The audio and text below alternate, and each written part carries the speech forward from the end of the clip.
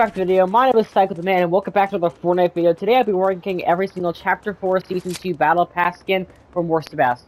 Chapter 4 Season 2 just released today, and now, after playing with the Battle Pass skin for a couple of hours, I think now I can finally leave you guys my ranking. Uh, keep in mind, this is definitely subject to change like it is every single season, uh, where I rank these, rankings. It's just that, at the beginning of the season, my initial opinions, and the end of the season, my final thoughts. With that being said, uh, let's get right into it. Uh, I'm personally having a really good downtime with the season. Comment down below what you guys think about the Battle Pass and what you think of the Battle Pass. With that being said, let's get right into the video. So coming in at last place here, number 8, is going to be Imani. Now, Imani is not a bad skin, just that I'm not really a big fan of cel-shaded skins. I think it's a big trend with the channel. I'm not really a huge fan of these type of skins, unless it's Goku or All Might. Besides those two skins, and I guess Piccolo as well, I've never really been, been a huge fan of these cel-shaded skins. But I will say, this is definitely one of the better ones, and even though she's really low down, she's still like, still like a solid 6 out of 10 skin.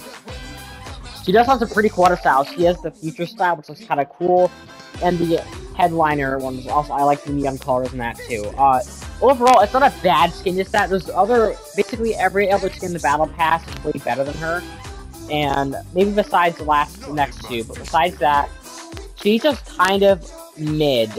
And don't hit me in the comments for that because you guys know I'm not really a big fan of cel-shaded skins. But yeah, uh, I am happy to have her. I'm happy she's not a high tier office. She's kind of a low tier skin, just kind of like beside, kind of skip her and go back and get her later on in the season. But yeah, overall, I think she's a pretty good skin. Uh, I'll probably use her like once or twice in the season. Besides that, not too much.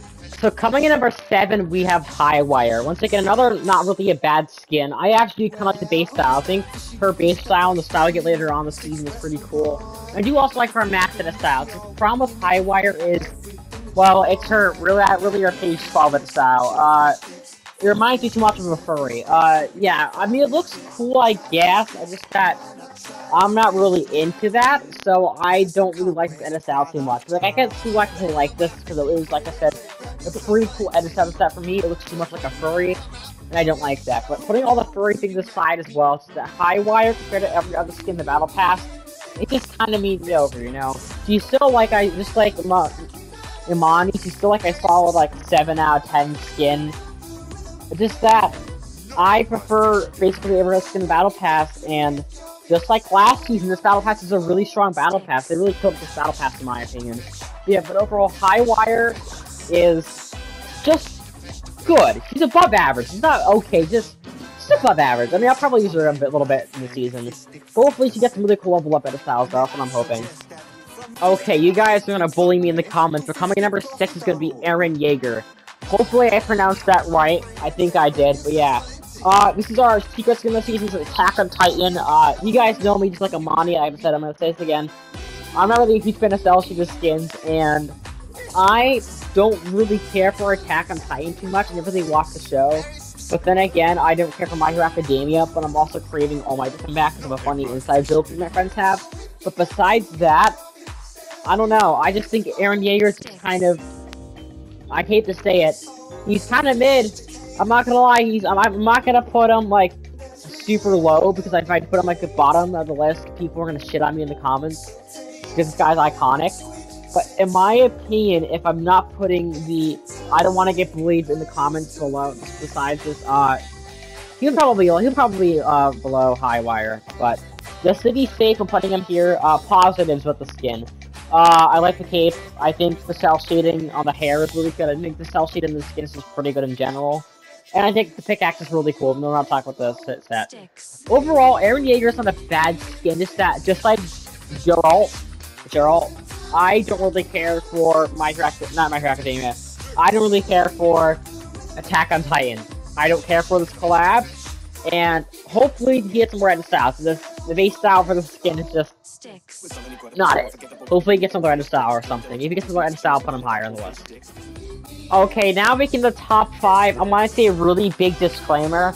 Uh, I think every skin top 5 now is a 9 out of 10 or above. Possibly, yeah, 9 out of 10 or above. I really like all the rest of these skins in the past. So, with that being said, coming in number 5 is going to be Mizuki. Now, is there anything particularly wrong with the skin? No, I actually like it. I like the color scheme, just some really cool edit styles. If you're tier 100 skin, he's honestly pretty good. Is she as good as Ageless? No, Ageless is not going to be top by a really long time, I don't think. Actually, I don't think they ever are going to top Ageless. They really knocked out the park with that tier 100. But for a follow-up, is it good? Yes, I do believe this is a good tier 100 skin. I saw people complaining online that the skin is kind of not worth being tier 100, but I think it is worth it. She has a really cool magnetic in a style. She's really cool magnetic, mag uh, I'm really cool. I don't know why I said that. But overall, I really do like the skin. I think she's really awesome. And I cannot wait to unlock her. I'm to be using her a lot this season. And just hopefully, like Ageless, she gets some overtime styles. If she gets some overtime styles by the end of the season, she can just jump up my ranking. Because Ageless went from like being number two to actually no, yeah, he's basically I don't know I, I don't know where Aegis puts my ranking. I think I put him on my re-ranking at number one. But either way, uh, yeah, uh, long story short, give her some lightning edit styles and she'll probably bump up for me. But yeah, overall, she's still 9 out of 10 skin. Maybe she'll bump up when I unlock her too, who knows. Uh, yeah, overall, Mizuki's really cool. So coming in number 4, we have Thunder. This is a skin that I remember getting leaked from the survey, and I was actually really excited to get him, so I was really like, is Godzilla dripped out? Like, you got to admit, this skin, with the base style, it's pretty similar to Godzilla, and he's completely dripped out. Like, look at the drip, look at the watch, look at the red jacket, look at everything. But yeah, with that being said, Thunder is really, really cool. It has some really cool edit styles. We have the Midnight Snack Thunder, which I yet to unlock. Uh, I don't know why I don't have it unlocked. I'll probably get unlocked uh, later. But yeah, it's a really cool edit style. I really like it. I can't wait to get it. I'm kind of just like two levels away from unlocking it. And then the Rumbling Thunder edit style we get later on the season is really cool as well. I am a really big fan of these like meme skins, and he's kind of like a meme skin, but also kind of nice. Kind of like a really cool meme skin, because he's, like, he's a lizard, right? It's like essentially funny, but at the same time, he still looks really, really, really cool. And he fits the theme perfectly. I think he's yeah, he's supposed to be like a little kai. Pretty sure he's supposed to be a kaiju. I'm pretty sure. And they really nailed the skin perfectly. I think he fits it perfectly with the theme. I think all the edit styles are really cool, and I'm definitely going to be using him a lot this chapter. Uh, I really like Thunder. He's really incredible, and I think you guys all like him as well, too. So, coming in number three is going to be our Tier 1 skin, Renzo the Destroyer. What do I say about the skin? Uh, once again, uh, Fortnite probably decided, hey, Sea Cyclo, he likes this really cool space skins, and let's make a little one. He's not really space, but I, you know, it's like a futuristic type of neon skin. He looks cosmic enough to me. Uh, he looks like something out of like Ant-Man the Wasp Quantumania or something like that. But yeah, either or even at, or out of Rick and Morty. It's like a Rick and Morty villain or something. I don't know. But overall, uh, I love Renzo. I think Renzo is really, really cool. I think he has really cool edit styles. You have the base style here, which is really cool. I love the flaming like mohawk he has going on. The uh, Renzo the Magnificent style, the white and gold style. Look at that, man. Look at the drip. Look at everything. The skin is really, really cool. You can also take the reactive feature off, which is always a nice touch. And the best part of the skin is, in my opinion, the cloak. Uh, this is linked in the survey. When I was leaving the survey, I was like, I need the skin in my locker and as soon as possible. And now having him, I'm like, man, if he gets, I'm serious one out. If just like Selene, he gets some overtime styles, he is shooting up probably to number one.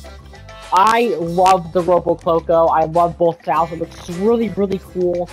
I just really love Renzo, man. He's such an amazing skin. I remember he got leaked for by Shiina and Hypex on Twitter that's saying like he'll be tier one the battle pass. I was so happy, and I am honestly really happy at this skin. He's one of my personal favorites right now. Really awesome skin, and I'm going to be running him throughout the entirety of the season. So coming in number two, we have Stray. Now, Stray and number one are really hard like, to choose which one I prefer more. But I'm going to go with Stray for now. Once again, he can always become higher if he gets overtime styles. But yeah, overall, Stray is really, really cool. I really do like this skin. I think he has three really cool edit styles. I like my, my personal favorite one being Stealth Stray. I think the Stealth Stray looks really, really cool. I love the red mask on it. But yeah, overall, I think Stray's a really, really cool skin. You can also take the mask off of him, the Office of the Lightning. I think it's just honestly an incredible Battle Pass skin.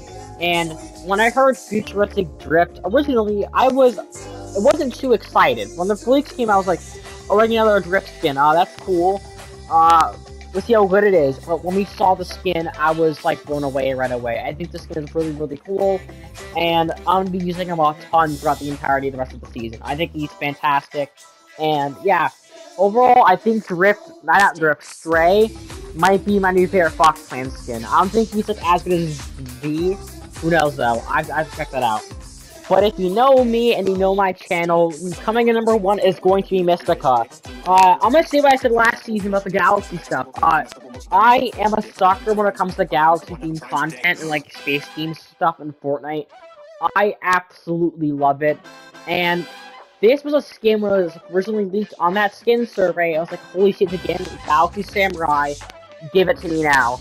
And we got the skin and I think Mystica is really, really cool. I will say the uh, Galaxy effect on the Crimson Bloom style, I wish it was a little more red on the head. But besides that, I think it's really, really cool. I think she has three really awesome edit styles. The first one being the Winter Song one. I think the Winter Song is really, really cool. And just overall, I just really do like the skin. I do like what they did with the skin. I like how, like I said, it fits perfectly with the season theme, by the way. She is both a futuristic samurai. He's literally a galaxy samurai. If it's perfectly with the theme of the season, and I really do like the skin a lot. I think she's fantastic, and overall, I'm using her a lot this season. Now, will she get overtime styles? Is the question. If she does, just like last season, she is probably going to go up a little bit because usually two skins per season don't get overtime styles. It'll probably Eren. I'm gonna say something. I'll be Eren Yeager. Uh, I'm gonna guess possibly Mystica. And then, man, hopefully High Wire or no Imani, Amani. Amani's not gonna get anything this season, so probably Amani, Mystica, and and uh, yeah, this is the two ones probably, and Eren Yeager. They'll be three ones to get overtime stuff. Besides that, Mystica is really really cool, and I've used her a lot this season, and probably the lot through the rest of the Fortnite. My ranking for the Chapter Four Season Two Battle Pass. Remember, keep let me know down below what you all think with this Battle Pass. I think it's a pretty strong one. Not as good as last season, but I think overall it's a pretty good Battle Pass. With that being said, thank you all so much for watching today's video. Hope you guys enjoyed. Please subscribe if you guys are new to the channel. Make sure you all like and subscribe because we have a lot more Chapter 4 Season 2 content coming your way. My name is Psycho the Man, and I'll see you all next time. Peace out, everybody, and I hope you guys have a fantastic rest of your day.